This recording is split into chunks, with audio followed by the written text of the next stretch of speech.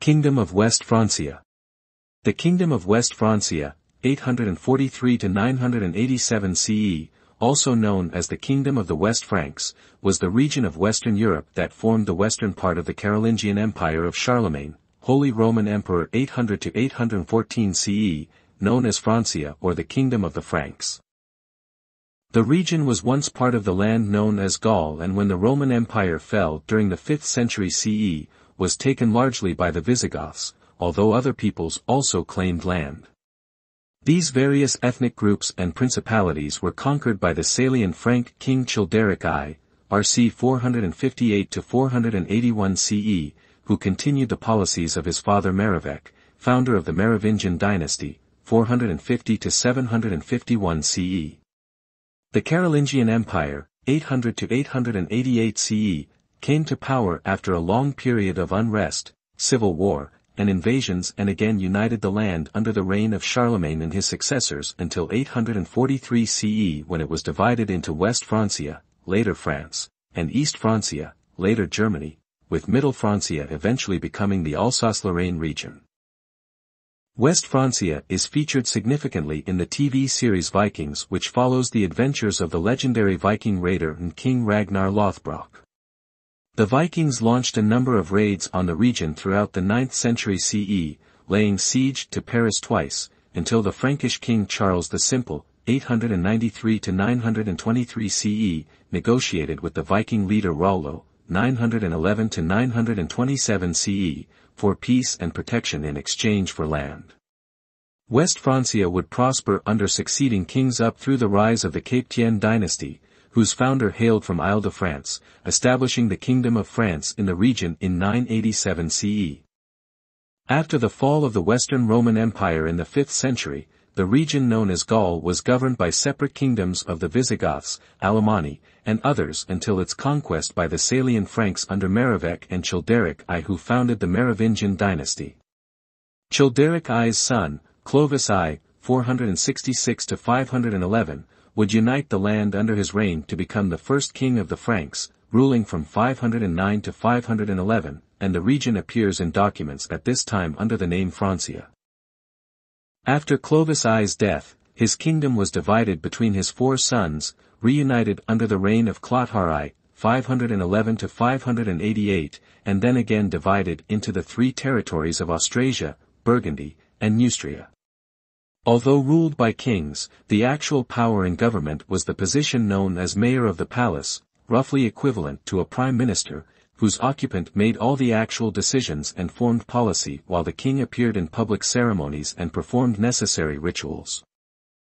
The most powerful of these mayors was Pepin of Herstal, 635-714, who defeated his opponents in battle in 687 and proclaimed himself Duke and Prince of the Franks, reigning 687 to 714.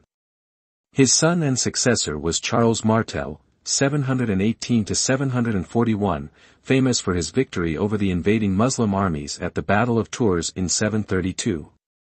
Charles's victory secured the borders of Francia and the stability of his reign encouraged overall prosperity which was continued by his successor Pepin the Short, 751 to 768, founder of the Carolingian dynasty and father of Charlemagne.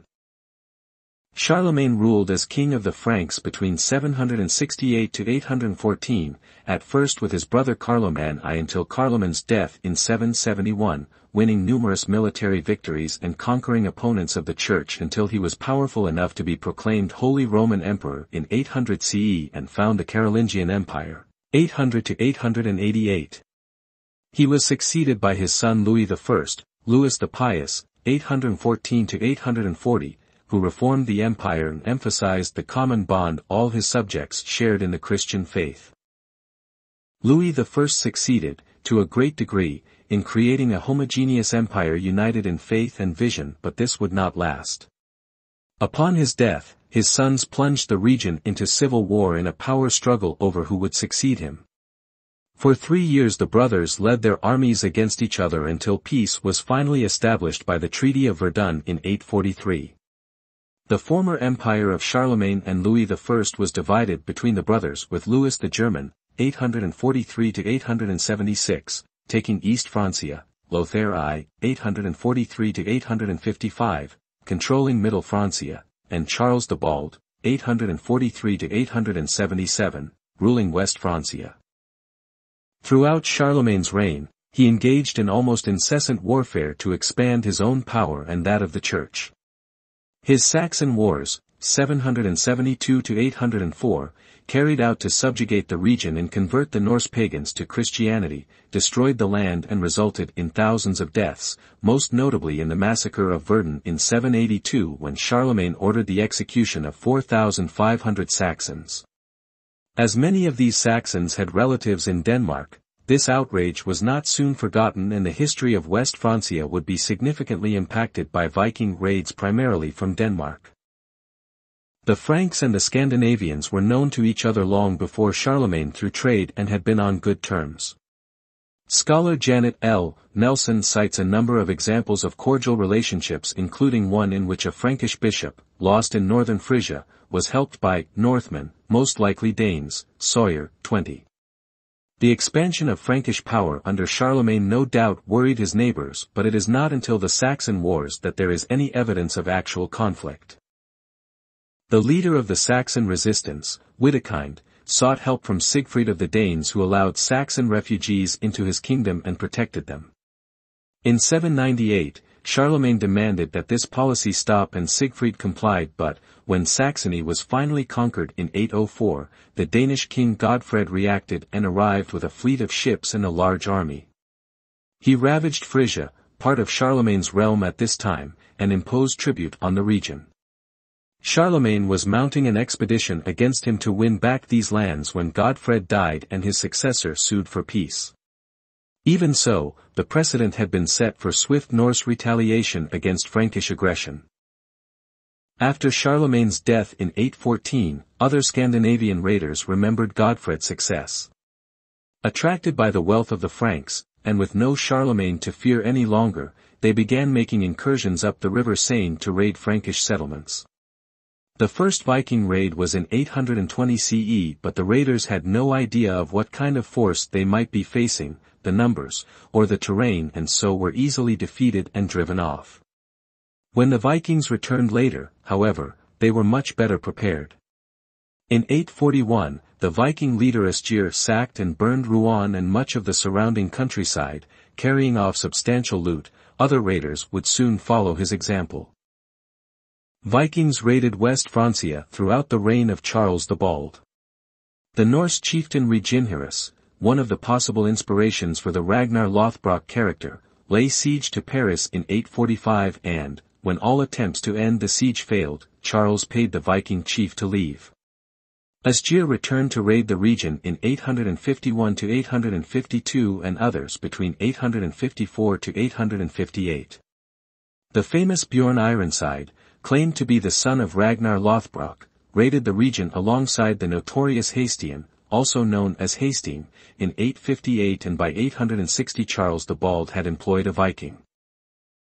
In 876 the Vikings ravaged and burned the region around Rouen and after Charles's death, came back again to besiege Paris in 885 to 886, two raids thought to have been led, or at least participated in, by the Viking chief Rollo.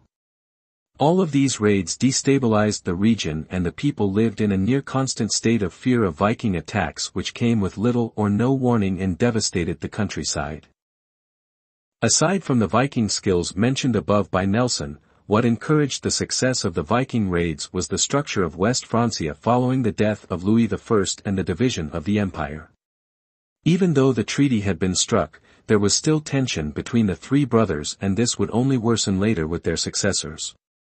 Further, although Lothair, Louis the German, and Charles the Bald ruled their respective regions overall, the distinct principalities within those regions were controlled by counts who held significant power and autonomy.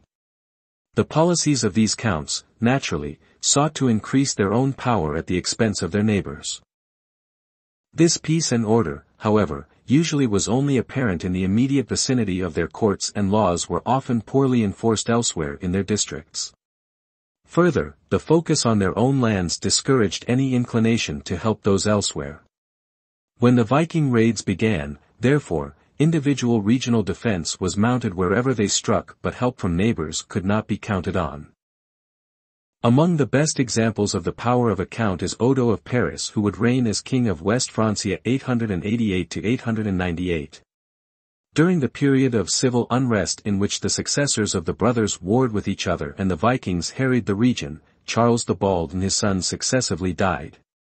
At this same time, a man later known as Robert the Strong, 830-866, Count of Anjou, grew in power and wealth through military campaigns and defense of his realm. He was killed in a Viking raid in 866, leaving behind his family including the eldest son Odo.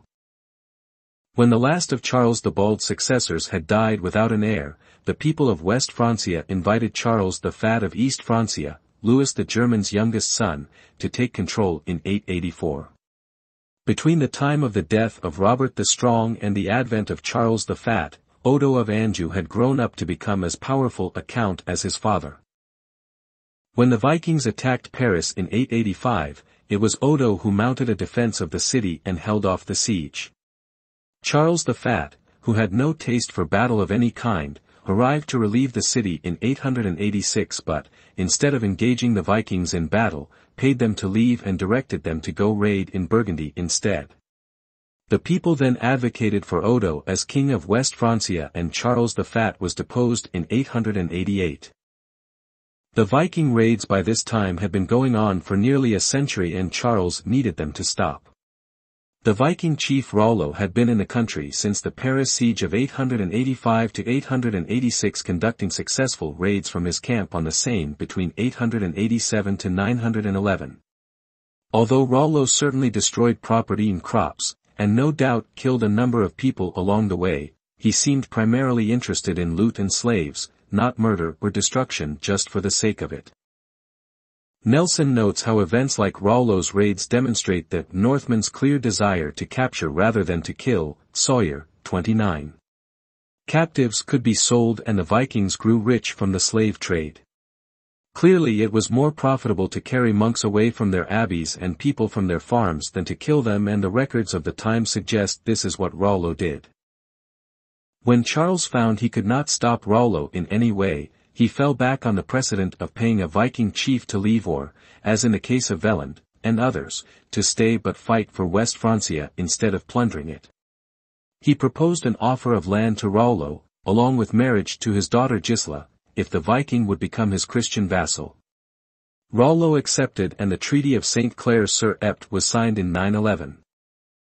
The lands Rollo was given became Normandy and he remained true to his word, protecting West Francia from further Viking raids and improving every aspect of his region. He reformed the laws and encouraged trade and agriculture as well as campaigning with Charles the Simple to restore order in other regions. The reign of Charles the Simple and Rollo of Normandy marked the first prolonged time of peace and order since West Francia was established in 843. Charles's rule was challenged by Robert I, 922 to 923, Odo's younger brother and himself a powerful count, over a dispute concerning rights and titles in the kingdom of Lotharingia, formerly of Middle Francia, and conflict broke out. Rollo fought for Charles at the Battle of Soissons in 923 in which Robert I was killed but his army won. Charles was captured and Rollo retreated to Normandy. Robert I was succeeded by Rudolf, Count of Burgundy and Troyes, who married Robert's daughter Emma of France and took the crown as Rudolph of France, 923-936. Charles the Simple remained in captivity until his death in 929 and Rollo retired from leadership in 927, dying in c. 930 of natural causes, most likely in his capital at Rouen. Charles the Simple and Rollo of Normandy had stabilized West Francia to allow for actual growth and development of the region. Although there would be further hostilities and military conflicts during the reign of Louis IV, 936-954, the Great King Lothair, 954-986, who united the region, Louis V, 966-987, culminating in the rise of Hugh Capet, 987-996, founder of the Capetian dynasty and the Kingdom of France.